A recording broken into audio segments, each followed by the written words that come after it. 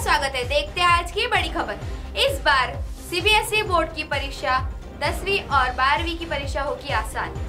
CBSE e की दसवीं और बारहवीं की परीक्षा इस बार आसान होगी। इसकी वजह से परीक्षा पत्र में विद्यार्थियों के अनुकूल बदलाव किए गए हैं। सीबीएसई e ने वस्तुनिष्ठ प्रश्नों को बढ़ाने का फैसला किया है। फ़िलहाल परीक्षा पत्र में 10 फ़ीसदी तक वस्तुनिष्ठ सवाल होते हैं। बोर्ड के सूत्रों ने बताया, हालाँकि इस साल वस्तुनिष्ठ प्रश्नों की संख्या बढ़ाकर 25 फ़ीसदी तक की जा रही है। इससे परीक्षार्थियों का आत्मविश्वास बढ़ेगा और उन्हें परीक्षा में ज़्यादा नंबर की मदद मिलेगी। अधिकारी ने कहा, अगर कोई विद्यार्थी किसी सवाल को लेकर संशय में है तो उसके पास सवालों का जवाब देने के लिए तैतीस फ़ीसदी ज़्यादा सवाल होंगे। इस साल परीक्षार्थी ज़्यादा संरचित प्रश्न, पत्रों की अपेक्षा कर सकते हैं। हर पेपर को उपवर्गों में विभाजित किया गया है। उदाहरण के लिए, सभी वस्तुनिष्ठ प्रश्नों को एक जगह वर्ग में रखा जाएगा। इसके बाद ज़्यादा नंबर के सवाल एक जगह होंगे।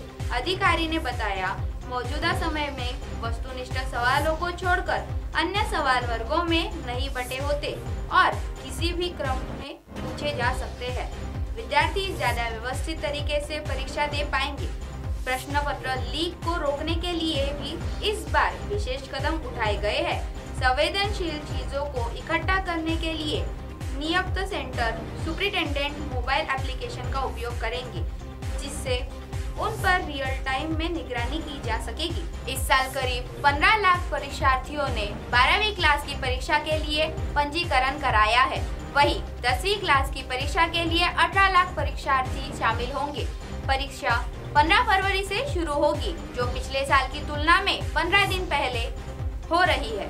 वोकेशनल परीक्षाएँ फरवरी के आखिर तक पूरी हो जाएगी और मार्च में शैक्षणिक विषयों पर परीक्षा आयोजित की जाएगी। तो एमएनएस न्यूज़ लाइव की खबर देखने के लिए आज ही प्ले स्टोर से एमएनएस हिंदी ऐप डाउनलोड करें। और हमारी न्यूज़ के अपडेट पाने के लिए इस चैनल को सब्सक्राइब करें। बेल आइकन दबाना ना भूले। धन्यवाद।